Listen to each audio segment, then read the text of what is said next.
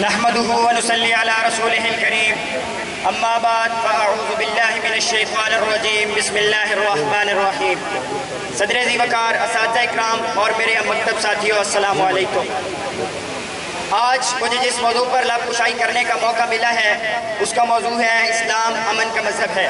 جناب صدر، جہالتوں کا دور دورہ ہے، انسانی قدریں ناپید ہیں، انسان ذاتوں گروہوں میں تقسیم در تقسیم کا شکار ہے، نسلی تفاخر، لاسانی تاثر بروج پر ہے۔ ان سب کے دفیل کہیں پانی پلانے پہ جھگڑا، کہیں گھوڑا آگے بڑھانے پہ جھگڑا۔ یوں ہی روز ہوتی تھی تکرار ان میں، یوں ہی روز چلتی تھی تلوار ان میں۔ اور انسانیت ظلم و جبر کے اندھیروں میں بھٹکتی امن کی متلاشی تھی کہ ایسے میں رحمت خداوندی جوش میں آئی اور آپ صلی اللہ علیہ وآلہ وسلم کو رحمت للعالمین بنا کر بھیجا اور اعلان کر دیا، وَمَا رَسَلَّا کا اللہ رحمت للعالمین جناب صدر، ہمیں آپ صلی اللہ علیہ وآلہ وسلم سے اندھی محبت و عشق تو ہے ہی، مگر جو بات میں کرنے کی جسارت کر رہا ہوں، وہ محض عقیدت کا باس نہیں، بلکہ عین حقیقت ہے کیونکہ آپ صلی اللہ علیہ وآلہ وسلم نے انسانیت کے مرض کی، ٹھیک ٹھیک تشخیص کی اور اس کا حل بتایا۔ فرمایا لوگوں، تم میں سے کوئی چھوٹا نہیں، کوئی بڑا نہیں، کوئی اعلیٰ نہیں، کوئی ادنا نہیں، کوئی عربی نہیں، کوئی اجمی نہیں۔ تم سب کے سب آدم کی اولاد ہو، ایک دوسرے کے بھائی ہو۔ کیونکہ میرے آقا خوب جانتے تھے کہ فساد کی اصل جڑ، یہ تقسیم در تقسیم ہے۔ بے بنیاد فخر ایک دوسرے سے نفرت ہے۔ جناب صدر، اسی پر بس نہیں۔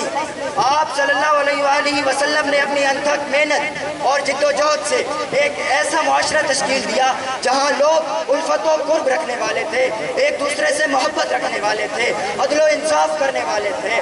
آپ صلی اللہ علیہ وآلہ وسلم کے اس مثالی معاشرے نے رہتی دنیا تک کو پیغام دیا کہ اگر امن کی حسین منزل کو پانا ہے تو عدل و انصاف کی شاہراہ سے گزرنا پڑے گا۔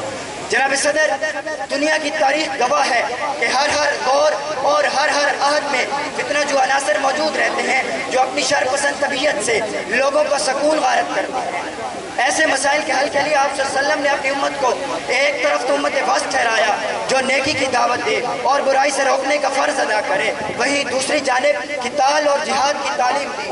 فرمایا، جب یہ فتنہ پرور عناصر لاتوں کے بھوت باتوں سے نہ مانے تو ان کا کلا کما کر دیا جائے۔ جناب صدر، آج ہم ذہنی غلامی کا شکار ہیں۔ ہم اس عہد میں جی رہے ہیں کہ جس میں اوروں کی جانب دیکھنے کو فخر سمجھتے ہیں۔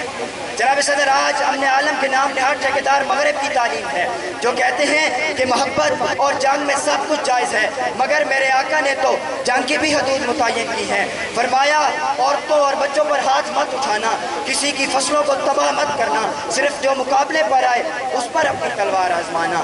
اب نہ کہنا کہ عمل سے ہے مسلمان آری اب نہ کہنا کہ عمل سے ہے مسلمان آری میری آنکھوں میں عقیدت کا اجالا دیکھو۔ جناب صدر، آج دنیا امن کو ترس رہی ہے۔ جس کی سب سے بڑی وجہ امن عالم کے نام نہاد ٹھیکیدار ہیں، جو ویپنز اور ڈسٹرکشن کا بہانہ کر کے انسانیت کو خون میں نلاتے ہیں۔ اور پھر دعویٰ کرتے ہیں کہ ہم امن کے متلاشی ہیں۔ جناب صدر، ان امن کے متلاشی کو کشمیر میں انسانیت کا خون دکھائی نہیں دیتا ہے، مصر اور عراق میں انسانیت کی تزلیل دکھائی نہیں دیتی ہے۔ جناب صدر، امن عالم کی اصل ذات صرف پیمبر ہی کی ذات ہے۔ جو دعوت دیتی ہے کہ اپنے بھائی کی مدد کرو۔